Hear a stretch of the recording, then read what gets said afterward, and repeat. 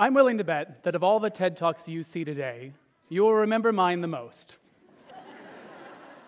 Not because I'm a better speaker, others will be more polished than me.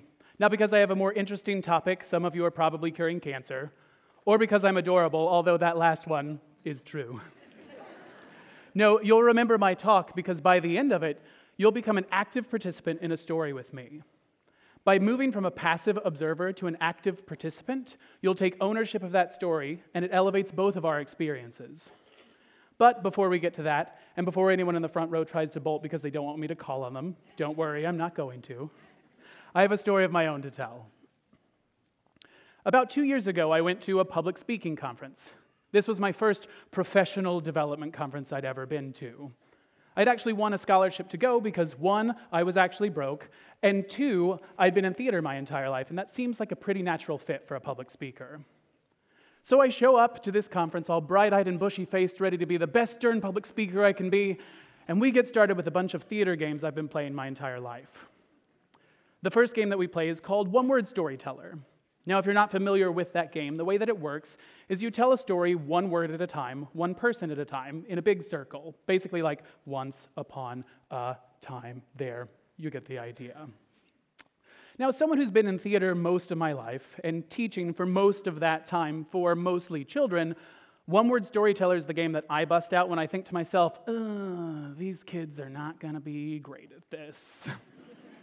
It's a uh, pretty basic level game because all you have to do is come up with one word.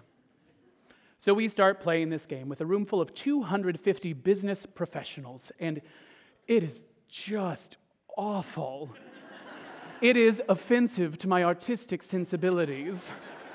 We've got ourselves a one word storytelling shout fest on our hands. Once upon a time, fork, noodles, pea. Pea's a funny word. Ha!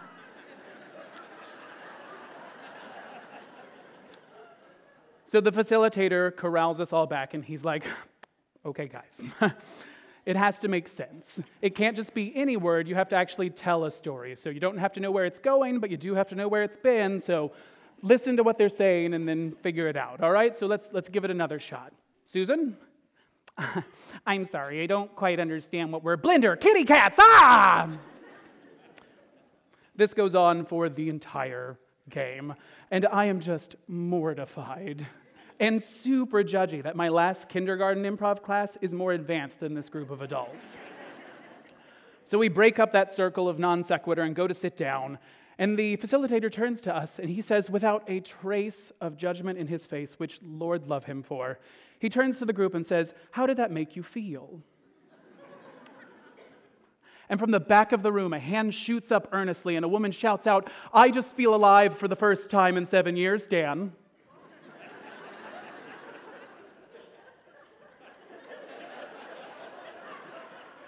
What? Were we in the same room? Did we play the same game? I don't know. Thus begins my corporate facilitation career.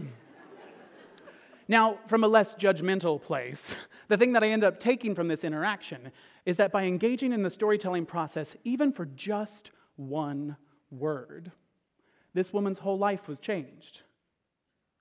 But why should you care about a woman playing an improv game poorly at a conference?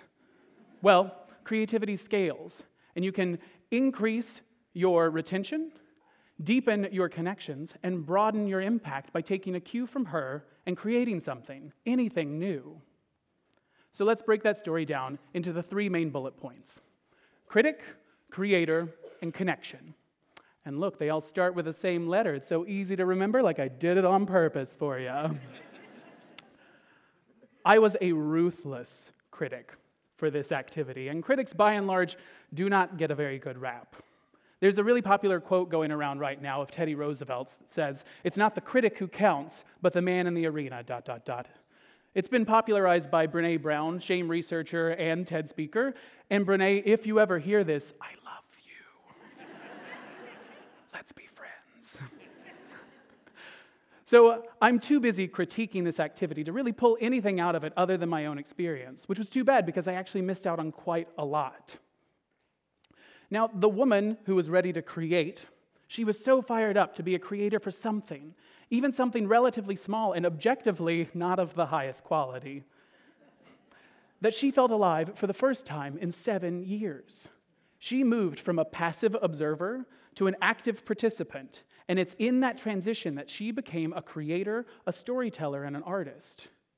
She felt alive because she made something new and brought it into the world. Storytelling connects us. You can watch other TED Talks that talk about the neurological support that we are designed for storytelling. So, if we are in fact designed for storytelling, it stands true that we probably like people who tell stories. I spoke with a colleague of mine who had been a part of the one word story slaughter, and she told me that it was her experience that, yes, this is not going very well, and the energy in the room is amazing. These people are stretching so far outside of their comfort zone, and it's just lighting them up that they can feel alive for the first time in seven years. So, as I said at the beginning, I'm going to give you guys a chance to create something with me. Now, we're not going to play one word storyteller, that would take too long, but we're going to play quarter of the room storyteller. So I'm going to divide you guys up into quadrants, just like the city you're in right now. DC statehood, pew, pew, pew, just my little plug. little plug, thanks. Yeah, get it going. We should do it. yeah. and you guys are going to give me the first four words of any good story, which is once upon a time if you can't figure it out, all right? So if you'll indulge me, when I point to you, just shout it out and get us started because we've got something a little extra for you. So,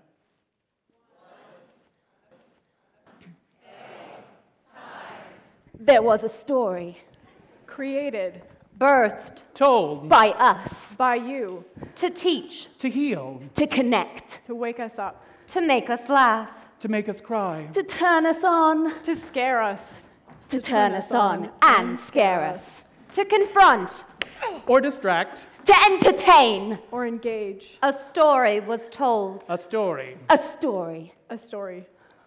And tonight, if you'll join us at the after party, you'll have an opportunity to tell your own.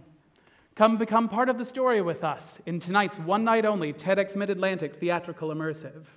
Come eat, drink, and explore with us and ask yourself, what story will you tell? Break a leg.